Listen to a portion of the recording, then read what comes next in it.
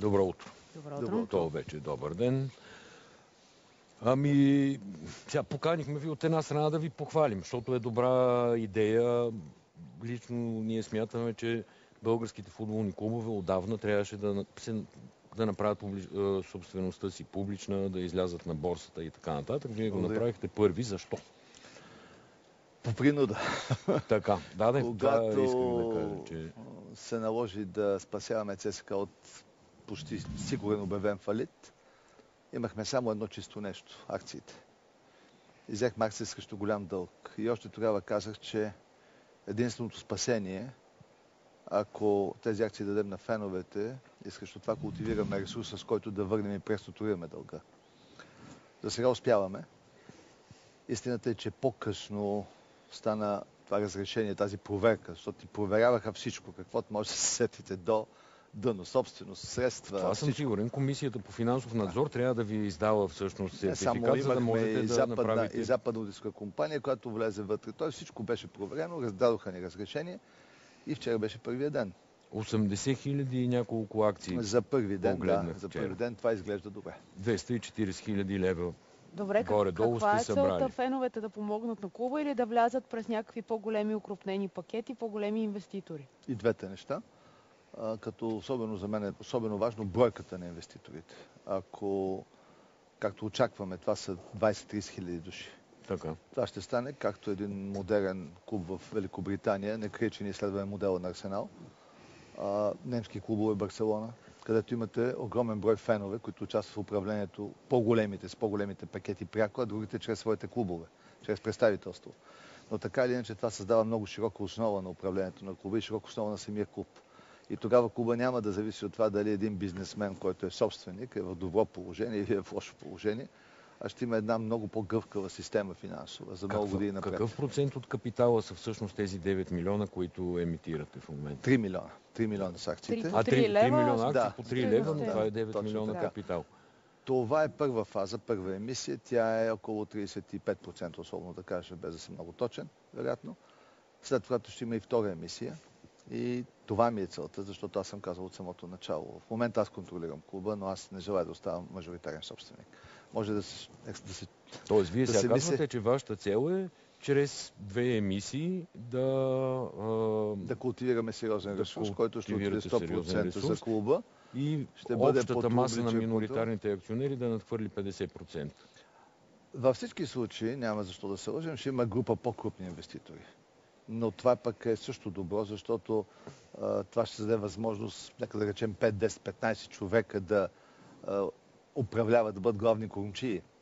Но пък всички те ще бъдат под контрола на масата акционери. Тоест, а, по смисъла на акционерната собственост, те ще имат право да получават информация за какво става в клуба, да насочват определени ресурси, определени движения. Така че е, това е което виждаме най-доброто в света. И поначало съм голям фен на акционерната собственост. Аз не смятам, че една държава може да се развива нормално едно общество с 2-3% свръхбогати и 80% бедни. Това е далечно минало. Модерните държави са с огромни акционерни групи общества и нещата се решават открито на борсата. Но едното от нещата, които страшно ме вълнува и които много харесвам е, че клуба става 100% прозрачен. Не само под контрола на своите фенове, т.е. на акционерите, но и на цялото общество. Тъй като да бъдеш на борсата означава на няколко месеца да публикуваш всичко. И хората да контролират и да казват това да, това не. От Това нощи изключва- говорихме с двама души, сериозни хора с възможности, влияние и така нататък и ги питахме, ще си купиш ли акции от ЦСК. И на двамата, независимо един от друг, отговора беше, ако не беше Сашо Томов, щях да си купя. Ми, Това не ми се вижда много сериозно, защото а, разбира се, човек не може да бъде начало и да го обичат всички. С- самото подобно желание е Въпросът за порочно. доверието. Смисъл съвсем Ами откровено доверието, ви питам. доверието, доверието върви. Ми вижте, а, самият факт, че вчера за един ден без всякаква подготовка, давам ви дума, че не сме, това не идва от нас.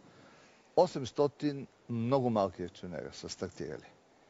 А, смятам, че това е достатъчен акт на доверие. Другото им се вижда или дребна завист, или дребно заяждане. Аз нямам а, към този клуб нищо освен плюс. Ако ние не бяхме, извиняйте за нескромността, момента нямаше да има ЦСК въобще, защото щеше да има един ЦСКА с 35 милиона дългове, с един синдик и дългогодишни разправи как да се върне нещо, което не може да се върне. Сега... Колко са дълговете на ЦСКА всъщност? Ние наследихме 35 милиона. В момента целият дълг управляем. Мога да кажа условно е, че е към 12 милиона, е напълно обезпечен. 12 Впрочем, милиона дълг. А колко струва годишната издръжка на клуба? Това е условен въпрос, който ми задавате, но да кажа, да, да. всичко зависи от целите. Ако си поставяте по-високи цели, правите по-скъпи селекции, естествено ще струва по-скъпо. Ако минимизирате целите, струва два пъти Добре, по друг начин ви питам. Вие сложихте таван на заплатите на футболистите 15 000 лева, Точно което така. вчера слушах заплата в Левски 15 000 евро, нали? да. Въпросът е вашата цел, вие сега свиете разходите до какво число тогава? Не, ние максимално свихме разходите през есента. Затова успяхме да преструктурираме дълга и за толкова кратък период от време, някакви 8 месеца, да тръгнем толкова нагоре. Свихме разходите, гарантирахме приходи и разбира се, трябва да кажа, че това беше много тежък период. Не казвам ми, че сега е леко. Но почти съм сигурен, че с а, това IPO, с публично предлагане на акции, клуба излиза на абсолютно чиста положителна финансова перспектива. Тоест, това Тоест, ще бъде вие ще използвате плюсове. парите за погасяване на дълговете. Част, така ли да част отиват за дълговете, част за развитие. Част отиват за, разбира се, за връщане на това, което...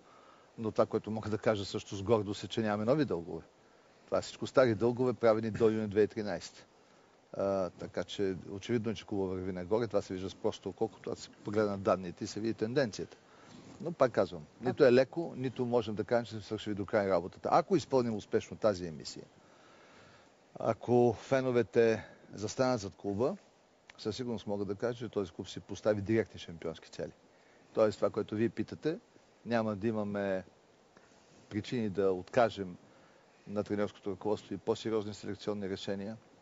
Няма да, бъдем, да, да, да свием а, средствата за развитие на детско-юношеския футбол. И в момента правим това но много по-масштабно, по-сериозно.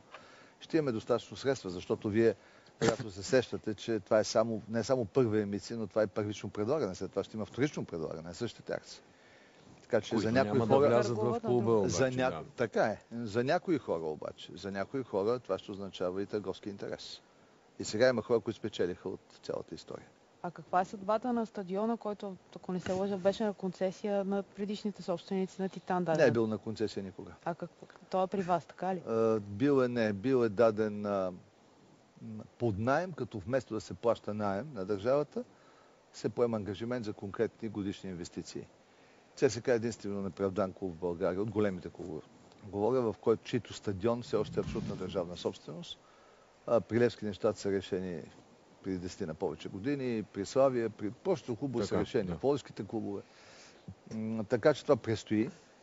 Казвам за сетен път, още веднъж, че ако държавата даде на дълга концесия стадиона или за безвъзмезно ползване, както е при Левски, ние имаме инвеститор за цялостно преустройство на стадиона. Тъй като тези стадиони са безкрайно устарели и те не позволяват да се покрият критериите на УЕФА.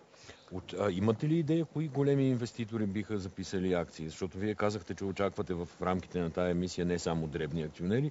А, сега вчера не е имало такъв голям инвеститор. А, видяхме, че най-големият пакет акции беше на стоеност около 140 хиляди лева, което не, не е, е малко. Много, по-малко бяха. 4800 акции да. не бяха ли най-големия пакет? А, Те са... Аз не можах това да видя, но доколкото разбрах, около 14 хиляди лева е са по-големите пакети, 12-14, повечето са малки пакети. No. Вижте, вчера имаше опашка на стадион Българска армия, където искам да похваля един инвестиционен посредник Алана. Съжалявам, че споменавам името, извинете ме. Но... 14 400, да. да.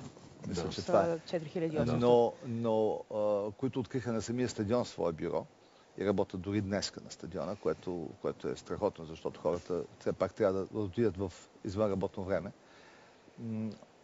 Но това, което мога да кажа е, че ние очакваме и по-големи инвеститори да се присъединят. Ще дам един пример. От името на Бербатов, това бе заявено от неговия менеджер Емил Данчев. Не мога да кажа всички, които са заявили пред мен желание, просто не е редно. Но когато те го направят, това се види. Прозрачността е видима, всеки може да види и след това, който е по-голям, да се обяви. Освен това, веднага мога да кажа, тези, които са по-големи, директно ще бъдат част от бъдещото управление на клуба. Възнамерявате ли да разпределяте дивиденд, печалба в рамките на Трябва да се говори за това. В момента трябва да си поставим друга задача. ЦСК върви нагоре. ЦСК в момента е на трето место, но с амбиции, които са факт вече. Е, Първият резултат е, че клуба е спасен от фалит. Първият резултат е, че клуба отново е в челото. А втория резултат са по-големи амбиции. Но не ми се иска да слагаме каруста пред коня. Нека първо да приключим тази емисия. Нека да разчистим дълговите схеми. Нека да изплатим всичко на хората, защото не е било плащано дълго време. Трябва да използвам случай пред вас да благодаря на всички тези, които се съгласиха да разхочат своите вземания от ЦСК, тъй като не бяха плащани няколко години. Има ли драма и... около лицензите на ЦСК за участие в европейски турнири? Вчера обсъждахме това нещо. Смятам, че се справим. Това е най-трудната, една от най-трудните задачи. Макар, че най-трудната според мен беше това да извадим клуба от така? бездната. Но, но в момента смятам, че се справим. Какво, как ще се справите? Ами, то е единствения начин да се плати, да се платят тези неща, които се искат. Друго, друг начин няма. А, ние сме направили всичко по това да елиминираме а, хора, които са нанесли вреда на клуба или пък да, да преструктурираме някои плащания, но генерално трябва да се плати. Просто тук няма. Тези, да, които и не можете са... да ползвате все още парите от емисията, не така че ще трябва между, да Между другото, да ви кажа, в цялата стратегия това не се получи. Ние искахме IPO-то, т.е. публично предлагане на акции да, да започне по-рано, но поради по-дългите проверки не започна създаването на доверие. Да, започна малко по-късно. Така че парите на хората няма да бъдат използвани за лиценза, но са във връзка. Просто аз трябва да кажа и да се обърна отново към всички фенове на ЦСКА и не само фенове, че това, което правим в момента, доказва, че не Александър Томов или Александър Тодоров или Стойчо Младенов са сами по себе си спасители. Спасители са феновете. Добре. Самите фенове спасяват своя клуб. За това сигурен съм, че на всички, както казвате, и фенове, и не фенове им беше интересно. Александър Томов в нашото студио.